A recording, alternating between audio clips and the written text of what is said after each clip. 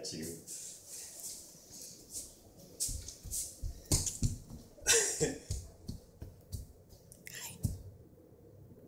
Do you like Uncle Brad? Yeah. Is he funny? Yeah. He's gonna get you. He's gonna get you.